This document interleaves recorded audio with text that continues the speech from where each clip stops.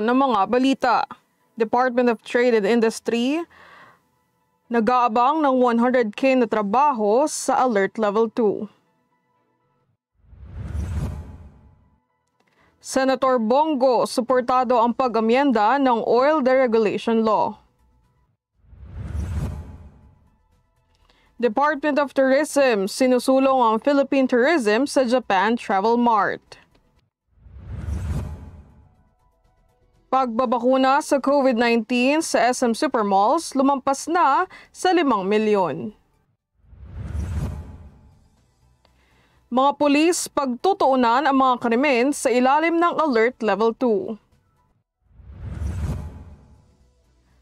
Masiglang kalakalan pag-asa sa pagbangon ng ekonomiya. Christmas lighting events hudyat sa nalalapit na Kapaskuhan. At sa balitang showbiz, lockdown album ni Elton John, big hit sa UK. Magandang hapon, ako si Michelle Giang. Ito ang Tribune News on Q. Narito na ang mga may initang balita sa oras na ito.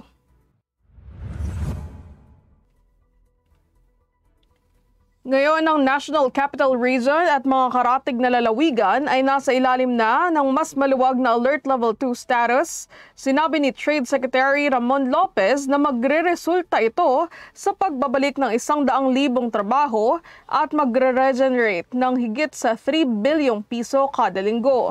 Mahalaga sa pagbangon ng ekonomiya ng bansa patungo sa panahon ng paggugol ngayong Disyembre. Sa kanyang panayam sa Daily Tribune at RJTV sa Daily Morning Show nagising na, sinabi ni Lopez na tinatansya niya ng mga economic managers na ang pagbaba ng antas ng alerto ay mga hulugan na mas maraming jobless ang makakabalik na sa trabaho. Gayon din ang karagdagang kita para sa pamahalaan. Yung madadagdag ngayong nagluwag na ng ano, ating restrictions. O, bali ho ang estimate ko na lumabas sa NEDA uh, at kami rin ano medyo may estimating kami diyan kulang-kulang mga 100,000 uh, ang mga madadagdag na trabaho at ang importante dito yung revenue ng mga negosyo na to mabubuhay ulit at uh, masasabi nating uh, hopefully makarecover sila at uh, mayroon na sa ilang uling pangsweldo sa mga tauhan nila.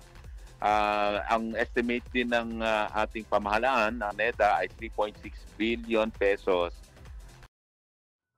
Ani Lopez, malaking bagay na rin ito dahil kung ano man ang mga negosyo, mga MSMEs na natirang sarado ay mabibigyan na ng pagkakataon na magbukas.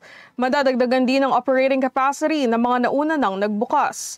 Sa huling anunsyo nitong Webes ay sinabi ng Interagency Task Force na green light na nito ang Alert Level 2 simula sa biyernes. Ito ay nagpapahintulot sa mas maraming negosyo na mag-operate sa mas mataas na kapasidad mula 50 hanggang 70%. Depende na lang kung saan ang kanilang operasyon ay indoor or outdoor. Ang iba pang mga business establishment na binibigyan ng go signal para magbukas ay ang mga bar, karaoke place, club, concert hall at teatro at iba pang mga venue na may live voice performers na kayang tumanggap ng mga bisita hanggang 50% ng kapasidad sa loob para sa mga venue na nabakuna sa mga ganap ng nabakunahan at mga kawani ng establishmento at hanggang sa 70% outdoors anuman ang vaccination status.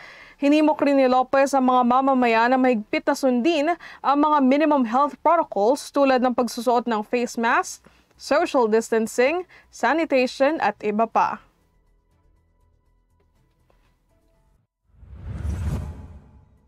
Sinabi ni Senator Christopher Bongo na bukas siya sa mga panukala na pag-amyenda sa oil deregulation law kung makakatulong ito sa mga Pilipino, partikular na sa may hirap at may hirap na sektor na makayanan ang pagtaas ng presyo ng langis sa mundo. Ikinalungkot ni Go ang katotohanan na ang pagtataas ng presyo ng langis ay nakakapinsala sa mga may hirap at iminimungkahi niya ang pag-amyenda sa batas ay maaaring magpagaan ng pasanin. Ang mga presyo ng enerhiya ay tumataas mula sa mga record low na naabot noong 2020 habang ang mga pambansang ekonomiya ay unti-unting nagbubukas mula sa pagluwag ng mga paghihigpit halos dalawang taon pagkatapos ng pagsisimula ng pandemya. Ang mga presyo ng enerhiya ay tinatansyang mas mataas sa 2021 kaysa sa 2020 at mananatili sa antas na iyon hanggang sa unang mga buwan ng 2022. Upang matugunan ang pasanin at pinapataw na pagtaas ng presyo ng langis sa publiko, maglalabas ang gobyerno ng isang bilyong piso sa Land Transportation Franchising and Regulatory Board para magbigay ng cash grants sa humigit kumulang 178,000 bona fide PUV drivers para sa mga matitirang buwan ng taon. Binalangkas ni Tourism Secretary Berna Romulo Puyat ang mga pambansang patakaran ng Pilipinas para sa sustainable tourism development at pagtugon sa mga hamon ng COVID-19 pandemic, bago ang Japanese travel market sa online na pagbubukas ng buwan ng second online travel mart ng Japan, Association of Travel Agents Association. Pinangunahan ng Tourism Chief ang presentasyon noong October 27 bilang isa sa mga panelists ng International Tourism Forum na kinabibilangan ng mga luminaries ng Japan travel industry tulad ng Guam Tourist Bureau Board Chair Milton Morinaga at Japan Travel Bureau CEO at President Ehiro Yamakita. Tinalakay ni Puyat ang ang DOT programs. Ito ang Tourism Response and Recovery Plan or TRRP at ang reformulated National Tourism Development Plan para sa 2020 hanggang 2022. Sinabi niya na ang pandemya ay umantong sa industriya ng turismo na mag-recalibrate upang maging mas responsable, accountable, inclusive at sustainable. Sa kanyang pangunahing talumpati, kinumpirma ni Puyat ang pangako ng Pilipinas na sundin ang international na pamantayan sa kalusugan at kaligtasan ng mga kinikilala ng mga international na katawan ng tourism, ituloy at pag-upgrade ng mga kasalukuyang produkto ng turismo. Nananawagan din si Puyat sa mga executive ng Japan Association of Travel Agents Association na humingi ng kooperasyon at aktibong partisipasyon sa mga proyekto ng DOT Team Japan. Iginawad ng Japan Association of Travel Agents Association kay Puyat ang Excellent Partner Award para sa papel ng DOT sa rehabilitation ng Boracay sa okasyon ng JATA Tourism Expo Japan 2019. Ang second JATA Online Travel Mart ay nagpapatuloy hanggang November 30. Magbabalik ang Tribune News on Q pagkatapos ng ilang paalala. Botomoto Halalan 2022, the Daily Tribune special coverage.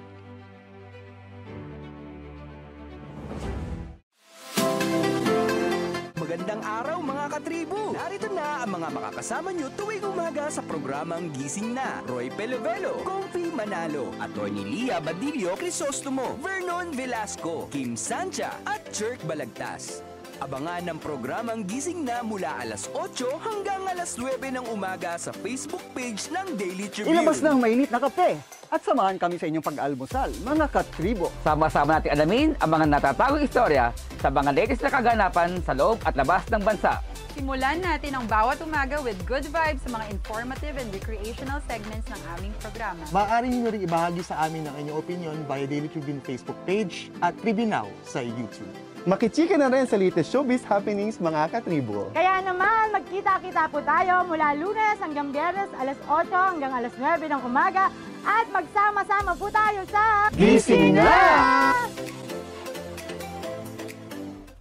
Ayon sa World Bank, tinatayang 4.8 hanggang 12.7 milyong toneladang plastic ang sumisira sa ating karagatan taon-taon. Halos 80% nito ang nanggagaling sa Asya. Sa buong mundo, ang Pilipinas ay itinuturing na pangatlong pinakamalaking nagdudulot ng polusyon sa karagatan. Ang nakalalasong kemikal mula sa plastic ay di lamang kumukontamina sa karagatan, ngunit pati na rin sa hanging nilalanghap at lupang ginagalawan natin. Kung magpapatuloy ang kasalukuyang paggamit ng single-use plastics, sa taong 2050, mas marami na ang plastic kumpara sa mga isda na nasa ating mga karagatan. Dahil dito, mas pinaiigting ng pamahalaan ang kampanya laban sa paggamit ng single-use plastics. Nanganganib ang ating planeta. Iisa lang ito. Lahat tayo ay dapat kumilos sa lalong madaling panahon upang pangalagaan ito. Tama na ang plastikan.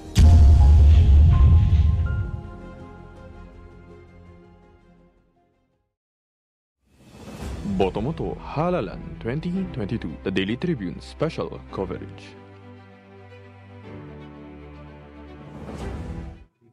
Nagbabalik ang Tribune News on Q.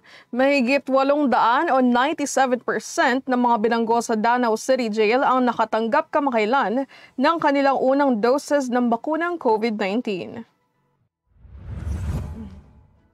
Sinabi ng President ng Super SM Supermalls na si Steven Tan, ang paglagpas sa 5 milyong mark ay isang patunay na kanilang pangako sa pagbibigay sa komunidad ng maka-access sa maginhawang mga lugar ng pagbabakuna. Nagpapasalamat sila sa kanilang mga kasosyong LGU sa pagkakataong ito na buksan ang kanilang mga mall bilang mga vaccination center para sa mga menor de edad na kabilang sa 12 hanggang 17 age group. Sa opening ceremony ng Bida rin ng Bata, Vaccination Center ng Paranaque City sa SM City Sukat noong ikatres ng Nobyembre, 588 na kabataan na nabigyan ng kanilang unang doses ng mga bakuna. Sa ngayon, mahigit 6,000 Paranaque youth constituents ang nabakunahan sa 15 mall sites.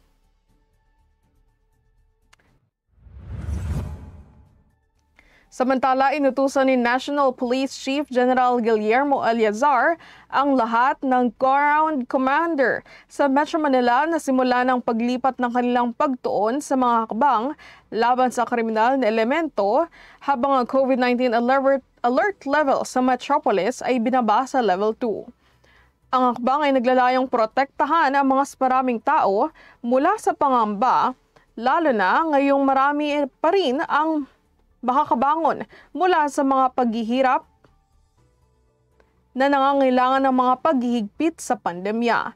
Ang pagtutok sa mga akbang laban sa krimen ay napapanahon din dahil mas maraming tao ang inaasahang lalabas sa mga araw na humahantong sa holiday season, dagdag pa ni Eliazar. Inatasan din niya ang National Capital Region Police Office na tiyaking alam lahat ng tauhan ng mga mga guidelines na itinakda sa ilalim ng Alert Level 2 upang maiwasan ang anumang kalituhan sa pagpapatupad. Nananawagan din siya sa publiko na makapagtulungan sa mga pagsisikap na maiwasan ang pagkalat ng COVID-19 sa pamamagitan ng pagtuloy sa pagsunod ng mga protocol sa kalusugan. Bilang resulta ng pagbubukas ng mga ekonomiya, tumataas ang palitan ng mga kalakal na nagbibigay ng higit sa pag-asa para sa isang malakas na pagbawi ng ekonomiya. Yan ay ayon sa pinuno ng Global Port Operator na International Container Terminal Services Inc. o ICTSI. Gayunpaman, ang pagbuti ng health situation ay hindi isang dahilan para magsawalang bahala, sabi ni Enrique Razon Jr., President ng ICTSI. Sa paglalahad ng mga resulta sa pananalapi, sa unang tatlong quarter, nabanggit ni Razon na ang mga aktibidad sa kalakalan ay tumataas ang net income ng kumpanya ay tumaas ng 73% na hinimok na paglago ng kita at pagtaas ng volume mula sa operasyon sa daungan sa lahat ng tatlong rehiyon. Manatiling nakatutok sa Tribune News on Q, magbabalik kami. Botomoto Halalan 2022, the Daily Tribune special coverage.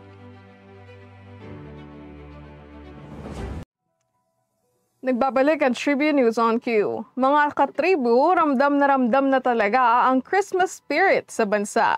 Sa katunayan, kasabay ng pagbaba ng quarantine restrictions sa Metro Manila sa Alert Level 2, ay nagbukas na rin ang isa sa pinakadinadarayong night market sa bansa sa Green Hills sa San Juan City.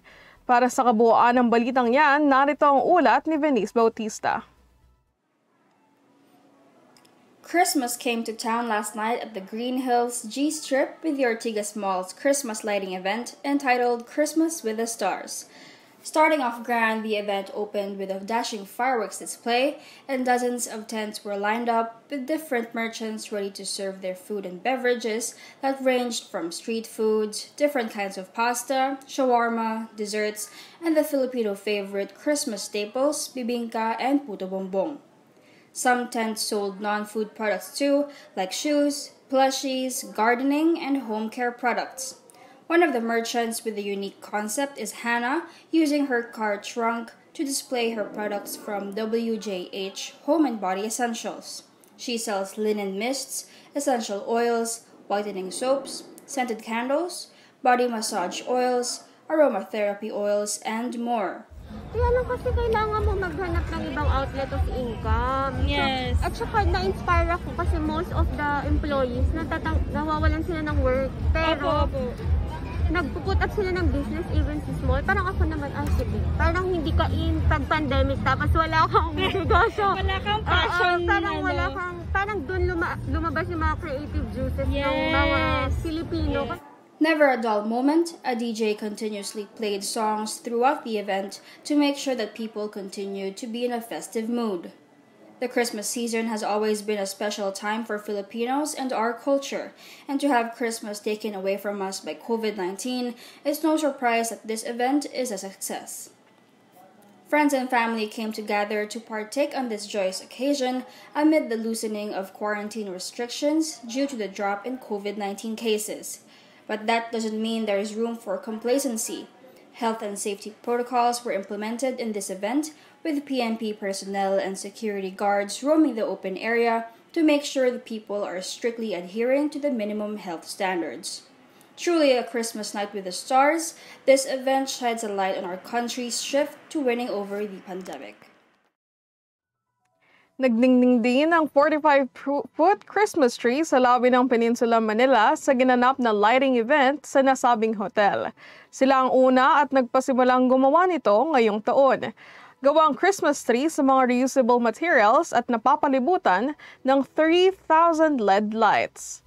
Ang mga dekorasyong sinama at mga gumon parol na dinisenyo ni interior designer Mark Wilson ng Cara Wilson at mga artisans mula Baguio at Sorsogon.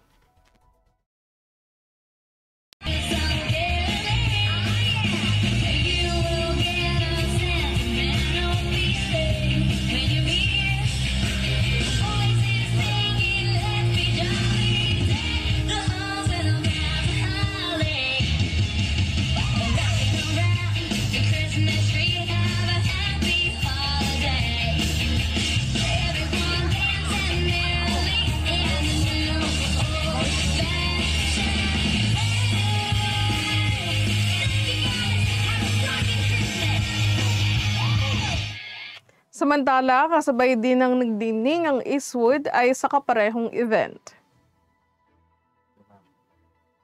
At dumako naman tayo sa balitang showbiz. Lockdown album ni Elton John, big hit sa United Kingdom. Para sa detalye, narito ang Tribune Extra na ihahatid sa atin ni Kim Sancha.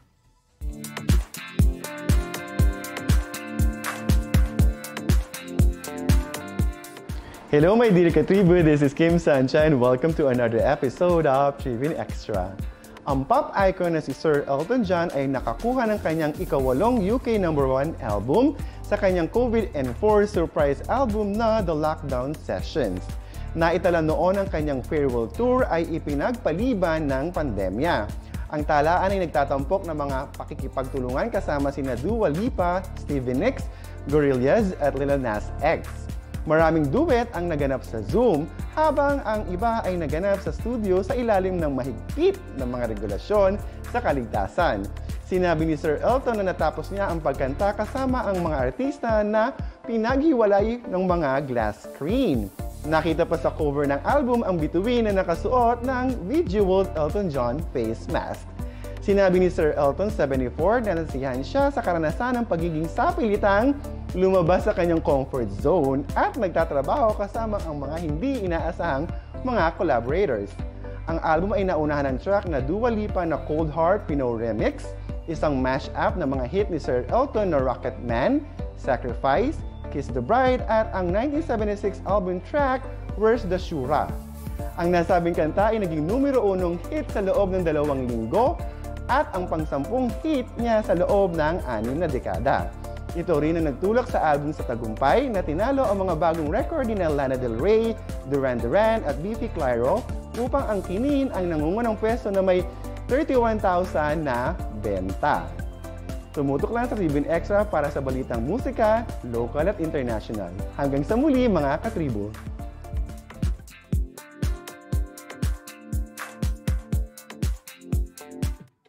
At yan ang mga balitang nakalap sa oras na ito. Ang Tribune News on Q ay nais magpasalamat sa mga sumusunod. Mary Kay, The SM Store, Araneta City, Department of Tourism, MG Motors, Hina Motors, Security Bank at kay Overseas Community Affairs Council member Alan Lin ng Republic of China para sa kanilang suporta. Munting paalala mga katribu, 50 days na lang, Pasko na. Muli ako si Michelle Giyang, ito ang Tribune News on Q. Magandang hapon. Catch the latest news on our website, tribune.net.ph. Follow us on Facebook, Twitter, and Instagram. Subscribe to our YouTube channel, Tribune Now. Download the Daily Tribune app on Apple Store for iOS and Google Play for Android to get the latest and most comprehensive news online. Daily Tribune invites you to join its Viber community, Katribu, to get updates on the hottest news on politics, business, sports, lifestyle, and entertainment. Emoticons of the Tribune mascot Tarsito are available on our community Viber.